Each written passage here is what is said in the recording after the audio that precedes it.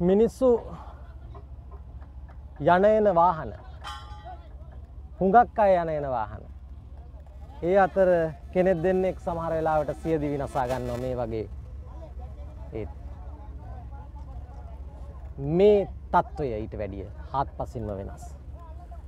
මේ අලියෙක් නාම්බර අලියෙක් මිනිස්සු වගේ හිතාමතා ඇවිල්ලා කෝච්චියට බෙල්ල තියලා නෙමේ. මට මේක විග්‍රහ කරන්න තේරෙන්නේ අලිය කෝච්චිය දැක්කේ නැද්ද? කෝච්චියේ අය අලිය දැක්කේ නැද්ද කියලා. කොහොම වුණත් එක්කෙනෙක් නම් කමක් නැහැ. හතර දෙනෙක්. වැලිකන්දෙදී මෙලොවින් තුරන් වෙනවා. අද අපි කතා කරන්නේ.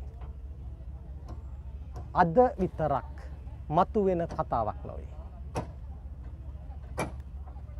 මිට මාසකට උඩංගියේ මාසයක් ඇතුළෙත් තුන් දෙනෙක් ගිය අවසන් ගමන්.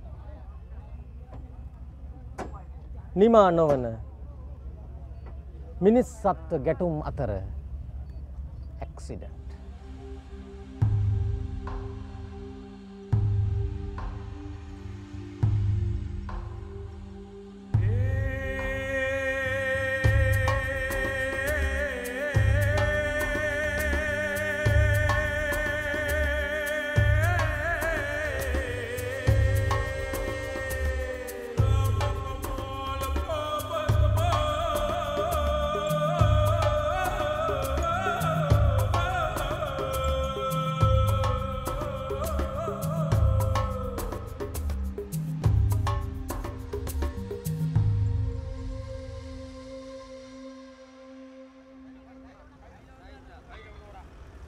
අද අපේ අවධානයේ යොමුවන තේමාව අතිශයින් බැරෑරුම් හා සංකීර්ණ එකක් නිසාම හිතා විමසිලිමත්ව ඒ පිළිබඳව අධ්‍යයනය කිරීමටයි වෙහෙසෙන්නේ.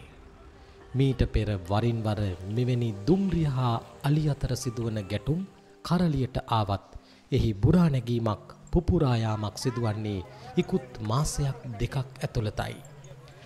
එහි ඇඟිල්ල කාට දිගු වුවත් ඉන් ඇති වූ හා ඇති කළ තත්ත්වයන් අවසාන විසඳුම බවට පත්වීමේ අභිප්‍රේරණය සිදු කරයි නම් අපට වැදගත් වන්නේ එයයි. මහා සමාජය මේ වන විට නව දිශානතියක සිටගෙන එකතු පහදුවීම් වෙද්දී ඊට වගකිවිය යුතු විෂයගත ආයතනද යම් බුද්ධිගෝචර විද්‍යාත්මක විසඳුමක ඉවර කරා යමින් පවතිනවා. එහි නිර්දේශද මේ වන විටත් ජනගතව අවසන්. ඒ සියල්ලට පෙර අප විසින් වැලිකන්ද ආශ්‍රිත සිද්ධිමාලාවේ ලේසුවඳ වහනය වී යාමට පෙර දින පහක් තිස්සේ සිදු කළ රූපමය නිරීක්ෂණ අද දින මුදාහරිනු ලබන්නේ ඉන්ද යම් අදහසක් සියලු පාර්ශව වෙත උරා පෙරා ගත හැකි යන අදහසින්. අසම්මත ප්‍රේම කතාවල වෙන් වෙන්න යනකොට වගේ ලියවෙනවා. අපි දෙන්න නිකන් කවදාවත් එක් නොවන රේල් පීලි දෙකක් වගේ කියලා. අර ඈතට එහෙම පේනකොට මෑතට මොනවා තිබුණත් පේනවා සිහි බුද්ධියෙන් හිටියොත්. දැන් මේ කෝච්චි නවත්තලා. සිල්පර කොට නිකන් ලී කොට නෙමෙයි. යකඩ සහ කොන්ක්‍රීට් කුඩු පට්ටම් වෙලා. ඔගොල්ලෝ ආවේ කෝච්චි පාර හදනව බලන්නද අලි මැරිලා ඉන්නව බලන්නද කෝච්චි පීලි පැනලා තිනව බලන්නද මොකටද? අලි මැරිලා ඉන්නව බලන්න. හා? සත්තු මැරිලා. පොඩි චූටි බබෙක් කියනවා. දැන් පොදු උත්තරේ එක වරම ඇහුවාම ආවේ අලි මැරිලා ඉන්නව බලන්න. අලියා යුනික් නිසා සුවිශේෂ නිසා විතරක් දෙයි යකඩ කොන්ක්‍රීට් වලට වැඩිය. ජීවයේ යම්කිසි වටිනාකමක් සංස්කෘතියක් සහිත රටකද මිනිස්සු අඳුරගන්න නිසායි. දැයගොල්ල ඉරෑ කකා හිටපු ඒවමේ. එහෙම කෙනෙක් මේ මෙතන කෝච්චි පාර තිබුණට අර තියෙන්නේ විදුලි වැට. හැබැයි එහෙන් සමහර විට කඩලා බිඳලා නැත්තම් මේගොල්ලොම ඇහිල්ලා නැත්තම් හරියට නඩත්තු වෙලා හෝ නොවේ නැත්තම් මේ පැත්තෙන් තමයි යලි එන්න ඕනේ. බැලූ බැල්මට රූප සටහනක් විදියට අරන් අලි ලොකු රංචුවක් ඉඳලා තියෙනවා මෙතන. මේ වෙද්දී මෙයාගේ පෝස්ට්මෝටම් එක කළා ඉවරයි. අපිට පුළුවන් වෙයි ඩොක්ටර්ගෙන් දැනගන්න මොකක්ද මේ මේ නිරුපද්‍රිත ශරීරයක් සහිත සතාගේ තත්ත්වය කියලා. මං වෙලසන කිව්වනේ මෙතන තුනක් නෙමේ මලේ හතරක් කියලා. හුඟක් අය කතා කළාට තුන් දෙනෙක් කියලා. මේ ඩොක්ටර්ගේ අතේ ඉන්නේ හතරවෙනියා. ඩොක්ටර් කොහොමද මේ තත්ත්වය විග්‍රහ කරන්නේ එකක් වෛද්‍ය විද්‍යාත්මකව අනිත් එක සංරක්ෂණය කියන කාරණාව පදනම් කරගෙන. අද ඇත්තටම ඇවිල්ල බැලුවම පේනෝ තුන් දෙනෙක් මෙයා ගෑනු සතෙක් අතන හ පැත්තින්න පිරිමි සතෙක් සහ කෝච්චයට හිරවෙලා ඉන්න තාම අපිට හරියටම ඩිෆයින් කරගන්න බැරි වෙච්ච තව සතෙක් මෙයා තමයි පුල් බොඩි එකක් විදිහට සම්පූර්ණ සිරුර තිබුණේ උදේම අපි මෙයාගේ තමයි මරණ පරීක්ෂණය පටන් ගත්තේ මරණ පරීක්ෂණය කරගෙන යනකොට අභ්‍යන්තර රුධිර වහන පෙනහළු ඇතුලේ බොහොම තදින් තිබුණා. ඒ වගේම මෙයාගේ මුත්‍රාශය එහෙම පුපුරලා මේ ඇඟ ඇතුලේ උදර කුහරේ වෙන සම්පූර්ණයෙන්ම මුත්‍රා වලින් පිරලා තිබුණා. ඊට පස්සේ වඩාම අපේ හිත කම්පා කරපු දේ අපි දැක්කේ මේ සතාගේ ගර්භාෂය විවර කරලා බලනකොට. පේනවා ඇති බොහොම චූටි අලියෙක් මෙච්චර චූටියට ඉන්නවද කියලා හිතෙන්න පුළුවන්. නමුත් ඔතන හොඬවැල සහ වලිගය වෙනකන් හොඳ ඉතාම හොඳට ලොකු වලිගය දකින්න තියෙන ලක්ෂණ සියල්ල හොඳට වර්ධනය වෙච්ච කුඩා ජීවියෙක්. ඒ වර්ධනය වෙච්ච ලක්ෂණත් එක්ක අපිට කියන්න පුළුවන් මේක දැනට අපි මෙෂර්මන්ට් අරගෙන නැහැ බාහිර බලලා කියන්නේ දවස් 80ක් 90ක් වගේ කාලෙක ෆීටස් එකක් තමයි මෙතන තියෙන්නේ. එතකොට දැන් අපි හිතමු දවස් 90ක් කියලා. එතකොට මාස 3ක් මේ අම්මගේ බඩේ ඉඳලා. සාමාන්‍යයෙන් තව මාස 19ක් ගියා නම් දකින්න හම්බ වෙයි මේ අම්මත් එක්ක ලස්සන පැටියෙක් ඇවිදගෙන යනවා. මෙයා ජීවත් වුණා නම්. ඒ කියන්නේ මාස 22ක ගැප් කාලයක් පරිපූර්ණ කළා මේ අම්මා පැටියෙක් දැම්මනම් එයා ගාව බොහොම සුන්දර කිරිලොල් පැටියෙක් ඉඳීවි. අවුරුදු 5ක් මේ අම්මගේ කිරි බීලා අපේ වනාලි පළපුරට තව සමාජිකයෙක් එකතු වේවි. අලියා යනු කුඩා සතකු නොවන නිසා ඕනෑම කෙනෙකුට ළඟකදී ලොමු ඩැහැ ගැන්වෙන හැඟුමක් ජනිත වුවත් ඈතකදී ඇසිපිය නොහෙලා බලා සිටිය හැකි සත්වයෙක්. රටපුරා අලි ව්‍යාප්තව නොසිටින බව මීට පෙර සිතියම්ගත සටහන් ඔස්සේ අප ඔබට ඒත්තු ගැන්වූවා. එහෙත් යම් විශාල භූමි වපාසරියක මේ සතුන් දිවිගෙවනවා. නමුත් ඒ සෑම දිස්ත්‍රික්කයක් ඔස්සේම දුම්රිය ගමන් කරන්නේ නැහැ. ඒසා විමසා බලද්දී දුම්රිය අලි යන එන මම්පෙත් ඔස්සේ ඇවිද යන්නේ ඊටාම අඩුදුරක් පමණයි. අලියා සතුව සිය මුතුන් මිත්තන් ඇවිද ගිය මාවත් ගැන පවතින සහජ ඉවහා දැනුම් සම්භාරයත් ආහාර රටාවී හා සාමූහිකව මුණගැසීමේ අවශ්‍යතාව පාදක කොට ගැනීමත් නිසා නූතන ඉදිකිරීම් අතික්‍රමණය කර ඔවුන් යම් යම් අසීරු කඩයිම් පසු කිරීමට මැලි වෙන්නේ නැහැ. එහි ප්‍රතිඵල මරණය හෝ ජීවිතය විය හැකියි. රූපයකට කොයිතරම් අර්ථකථනයක් දෙන්න පුළුවන් වුණත් වැරදි හෝ නිවැරදි. පිරිසිදු හෝ අපිරිසිදු. ඒවායේ ප්‍රායෝගික තත්ත්වයන් ලෙහෙසි නෑ කළමනා කරණය. වනසික මහත්තයා මේ සිද්ධ වෙන සිදුවීම් පෙළත් ඒක මේවට මේ වෙද්දි මේ වැයික්‍ය බාර නිලධාරියෙක් විදිහට සූදානම් වෙමින් සහ ක්‍රියාත්මක වෙමින් තියෙන කළමනා කරන පිළිතුරුත් මොනවද? දැනට අපේ මේ කලාපය තුළ මෙවැනි අනතුරු සිද්ධ වෙන්න ප්‍රධානම හේතුව සංවර්ධනය වෙන කලාපයක් තුළ අලි සංචරණය කරනවා ත්‍රිකෝණ මඩුව සහ මාදුරුවේ රක්ෂිත අතර. ඒ අතරතුර කාලේ මේ ප්‍රදේශයේ කෘෂිකාර්මික පරිසරය ගොයන් කපලා ඉවර වෙච්ච කාලය තුල අලි මේ ඔවුන්ගේ නිදහස භුක්ති විඳිමින් මේ රක්ෂිත ප්‍රදේශ අතර ගමන් කරනවා. ඒ ගමන් කරන අතරතුර ඇතිවෙන බාධාවන් තමයි මේ අපිට දකිින්ට ලැබෙන්නේ දුම්රියට සිදුවෙන අනතුරු නැත්තම් මිනිස්සුන්ගෙන් සිදුවෙන බාධාවන් ඒව තමයි මේ සංචන රටාවත් එක්ක සිදුවෙන ගැටලුකාරී තත්ත්වයන් තමයි මේ උද්ගත වෙලා තියෙන්නේ. ඉතින් දැනට අපි කළමනා කරන මේ ගැටලු කළමනාකරණය කිරීම සඳහා යොදාගන්න දැනට ක්‍රියාත්මක කරන යන ක්‍රමවේදය වෙන්නේ රක්ෂිතවල රක්ෂිතවලින් පිටතින් අලි රක්ෂිතවලට පලවා හැරීමත් ඒත් එක්කම ඔවුන්ට ගමන් කිරීම සඳහා යම් ඉඩ ප්‍රමාණය අලි කොරිඩෝවක් නිර්මාණය කරල ඒ තුළින් ඔවුන්ට යන්ට අවශ්‍ය පහසුකන් සපයල දෙනෙක තමයි මේ වන විට ක්‍රියාත්මක වෙන වැලිකන්ද ප්‍රදේශී. අපේ කතාවට තේමාවන භූමි භාගය බුහුරූපයක් ලෙස ඉහලින් සහ පහලින් බලද්දී විදිමත්ව හඳුනාගත යුතුයි. දෙපස පහත්බිම් පිහිටද්දී උස්ව තැනූ වේල්ලක් වැනි අඩි පහකට වැඩි පස් වැටියක් මතයි මෙතනදී දුම්රිය මග වැටී ඇත්ති. ආසන්නයේම උස්පාලම් සහිත වීමත් දැකිය හැකි තවත් කරුණක්.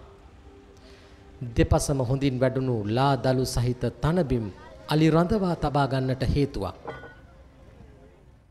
දැන් මේ අනතුර සිද්ධ වෙච්ච තැනට මීටර 200ක් විතර එහයින් මං ඉන්නේ. මේ තනිකර කුඹුරු යාය. මේ අලි වැට. අලි වැට ඕපන් වීසා.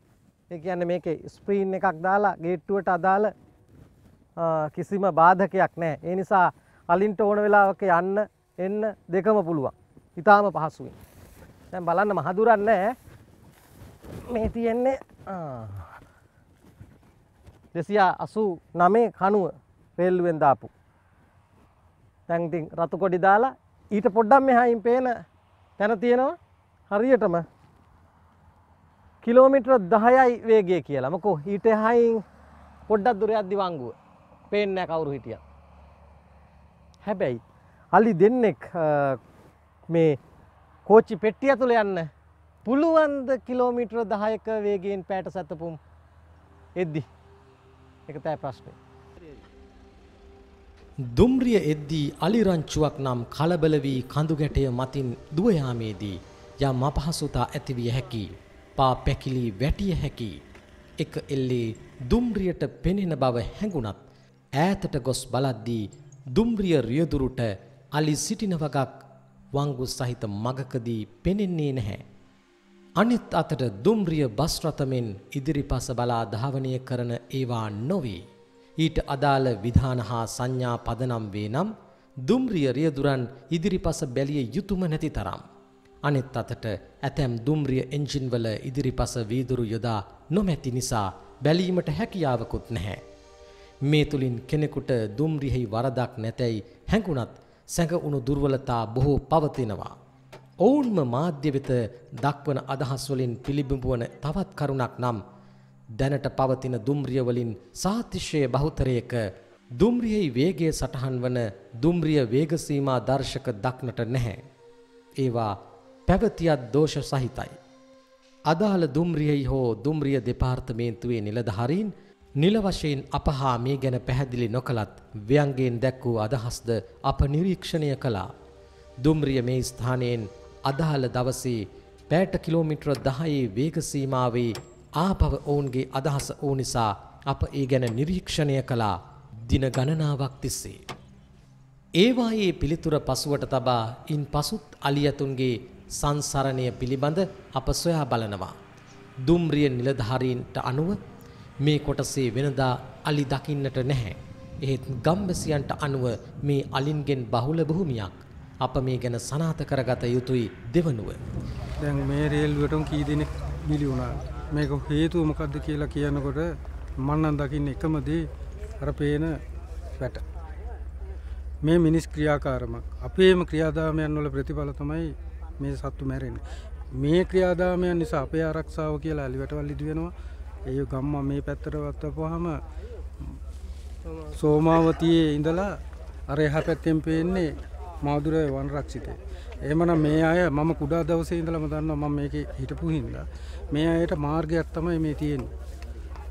මේ ඉන්න ගොවිතන් කරන අයගෙන් අහන්න කුඹුරු වැඩ කරන කාලෙට කුඹුරු හරහා මේ සත්තු එනවද කියලා. කවදාවත් මේ සත්තු කුඹුරු හරහා ඇවිල්ලා නැහැ. එයාලා ගොයන් කපපුවාට පස්සේ අර කැලින් මේ කැලේට මාරු වෙනවා මේ කැලින් ඒ කැලේට මාරු වෙනවා. ඒ මාරු වෙන්නේ එක නැති වෙන්න අක්කර දහස් ගණන් කොටු කරලා ලොකු ෆාම් හදලා ඒ ෆාම් වල අධිබලති විදුලිසර වැටවල් නිර්මාණය කරලා අර සතාට එන්න බැහැ. මේ සතෙක් ඇතුළට කොටු වුණොත් ගම්මාන මෙහෙන් කොහෙන් හරි මේ රජයේ අලිවැට ඒ අලිවැට කඩාගෙන ඇතුළට ගිය අලියා අර වැටවල් වලට යන්න බෑ කොහෙවත් හතරවටේ වැදිලා කුලප් වෙලා ඉන්නේ. ඉතින් එහෙම එහෙම ඉන්න සතා ගෙවල් වලට පයින්නවා වතු වලට පයින්නවා ඒ මිනිස්සු අහුණු මරනවා. දැන් මෙතන මේ සිද්ධියත් බලපුවාම මේ සත්තු මෙහෙන් මෙහාට ඇවිල්ලා අර වැටේ වැදුණු නිසා තමයි මේ අය ආපහු හැරෙන්නේ. එක්කෝ එයාලා මේ යකඩ යකා එනවා ඇහෙනකොට මෙයාලා ඈතට යනවා. යාගන්න බෑ අර වැටේ වදිනවා. වැදුනහම ඉක්මනින් මෙහාට එන්න එනවා.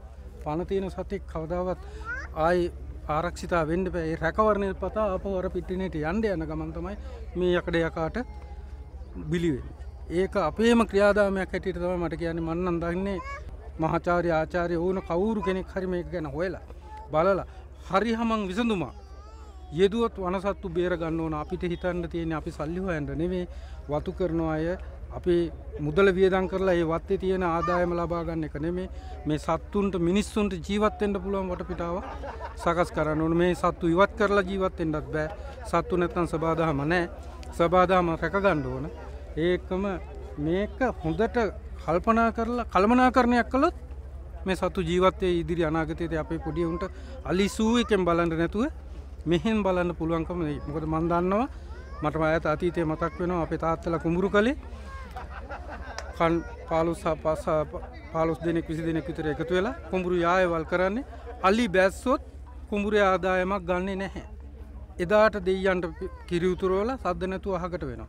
හැමදෑම අලියගේ කරදර නෑ කරදරයක් වුණුදාට අලි ඒ තරම් හිටිය එක කුඹුරු යායකට බැස්සොත් ආය ගණ්ඩ දෙයක් නෑ අලින්ගම් වින ඒ තරම් අලි හිටපු කැලෑවක් මේක.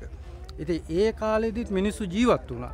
අදත් මිනිසු ජීවත් වෙනවා සත්තුත් ජීවත් වුණා මේ දුම්රියේ දුම්රිය සේවකින්ගෙන් ආගන් වාර්තා හොයලා බලන් මේට අවුරුදු පහලෝකට ඉස්සර වෙලා මෙහෙම දුම්රිය අනතුරු අ, අලි ගැටුම් දුම්රිය වදිනේවා සිද්ධ වුණාද කියලා. මොකද මම දන්නා තරමට මේ තරම් බහුලව දැන් මාස එකහමාරක් දෙකක් ඇතුළත ම්, හබර්න ඉඳලා මෙහාට ගත්තාම මේ සත්තු කී දෙනෙක් දුම්රියට බිලි වුණාද. මේ සත්තු නිසා මිනිස්සු කී දෙනෙක් මේ වෙනකොට අපෙන් ඉවත් වෙලා තියෙනවා. මේ ගැටුම නිර්මාණය ගුණේ කොහෙන්ද වෙන්න කොහෙන්ද කියලා බලපුවාම මට තේරෙන හැටියට නම් අපිම කරන වැරදිවල ප්‍රතිඵල තමයි මේ තියෙන්නේ. මෙහිදී අපේ ව්‍යායාමය සත්‍ය තොරතුරු ස්ථානගත කිරීම හා ඒ තුළින් යම්කිසි විධිමත් විද්‍යාත්මක පිළිතුරක් ඔස්සේ අලියාටත් දුම්රියටත් නිවැරදි යාවත්කාලීන ගමන් මගක් සාධාදීමයි. සමාජ කෙනෙකුට කරන ගෞරවය වගේ ජාතික වශයෙන් වැදගත්වන සම්පත් හා දේපලත් ජීව පරිසරයත් ආරක්ෂා කිරීම රටක් ලෙස අප සතු වටිනාම අවශ්‍යතාව. මීට පෙර ලොව අලිවෙසෙන රාජ්‍ය අතුරින් දැවන්තයෙකු සේම ආසියානු අලිවෙසෙන විශාලතම රාජ්‍ය වන ඉන්දියාව මේ තත්ත්වයට බරපතල ලෙස මුහුණ දුන්නා. ඔවුන් අනුදත් මග ඉතා වියත්හා ප්‍රායෝගිකයි නීතිගරුකයි නිවැරදි තක්සේරුවකින් වටහා ගත්තා අලින්ගේ මංතලා සේම ඊට හේතුවන සාධකත්. සිතියම් ගත කෙරුණා අලින්ට කොලර් පළඳවා ආගමන දත්ත ඒවායේ වෙනස්කම් හා සුවිශේෂතා කියවා බැලුවා. අල්ලි මංනිල ගණන කොපමණද ඒ කුමන වේලා සටහන්වලදීද ආදී වශයෙන්. අලින් බහුලව සක්‍රීය වන වේලාවන්හි දුම්රිය ගමනක වේගයත් රියදුරා සතු වගකීම හා වගවීමත් එහිදී අවබෝධ කරගත්තා. නීතිය හමුවේ අලියාට රැකවරණය ලැබීම තහවුරු වුණා. මේ මේ සත්තු ජීවත් වෙන පහ මේ වනයේ තමයි මේ අපි ජීව මේ අරන් තියෙන්නේ මේ. රජයට අරන් තියෙනවා දහස් ගණන්නේ. අක්කර දහස් ගණන් අරන් තියෙනවා. උන්ට ඉන්න තැනක් නැහැ. උන් ඉන්න තේව විනාශ කරගෙන යනවා. ඉතින් ඒක දුකක්. මේක අපිට හරි වේදනාවක්. මේ දකින දකින විට වේදනාවක්. බලන්න හිතන්නකො බඩපපුව දාගෙන යනවා මේ අහිංසක සත්තු මේ විදිහට හානි වෙනකොට. ලංකාවේ වටිනාකම තියෙන්නේ මේගොල්ලන්ගේ අතේ. මේ වටනාකම නොදැන්න ඉඳ මේ මිනිස්සු මේ වෙඩි තියලා එලවනවා මෙයා කරනවා මුන්ට ඉන්න තැනක් නෑ යන්න තැනක් නෑ මුන් කනවා ගෙවල් කඩනවා මිනිසුන්ගේ වී අස්සේ තිනව ඇදලා ගන්නවා. ඇයි? දහස් ගණන් ෆාම් වලට දීලා. මේ ෆාම් වල ඉන්නේ ඔල සල්ලිකාරයෝ මේව අරගෙන විනාශ කරලා තියෙන්නේ. ඒකයි මේ උපරිම දේ මේ සත්තු මෙහෙම විනාශ වෙන්නේ. එක්කෙනෙක් දෙන්නෙක් නෙමෙයි කීපවෙමත්නේ මේ දිගටම තියෙනවා මේ දිගටම මේ සත්තු මේක සත්තු ගැන ආරක්ෂා කරන්න ඕනේ කවුද වග කියන්නේ හබරනදී හෝ වැලිකන්දේදී අලි ගැටුණු තැන්වල ඉදිරිපස සරල රේකීය බවින් වැඩි. අලි මාරුවෙන මගක් මේක මේක කියන්නේ සිරියෝඩි. හරි කාසංගව ඉස්මත්තෙන් එන අලිටික ඔක්කෝ මාදුරුවේ කැලේට යන්නේ මෙතනින්. එත දැන් මේ මැඩුනාට පස්සේ මේ සතා රෑට කියන නෙවෙයි ප්‍රශ්නේ. සතා දන්නේ නැහැ මේ කෝච්චියද බස් එක දෙන්නේ කියන්නේ. දැන් මේ ඇයිද යන්තම් හරහා වෙනකොට කොහෙන් ආ ජීවිත බේරගෙන කැලේකට පැන ගන්න බලන්න. අරහෙන් අලි වෙඩි ගහනවා අරහෙන් කරන්ට් කම්බි ගහලා තියෙන ඔක්කොම කරලා තියෙනවා. එතකොට මේ දැන් මේ වැටගත්තම දැන් මේ ගහලා තියෙන සම්පූර්ණම අලි මාරු වෙනවා තැනක් මේ. ඒක සිරියෝඩ කියන්නේ අතීතයේ ඉඳලම අතීතයේ ඉඳලම අලි මාරු වෙච්ච මාවතක්. ඒ මාවත තමයි අපි කොහෙන් කොහෙන් හරි කොහෙන් කොහෙන් හරි වහලා තියෙන්නේ.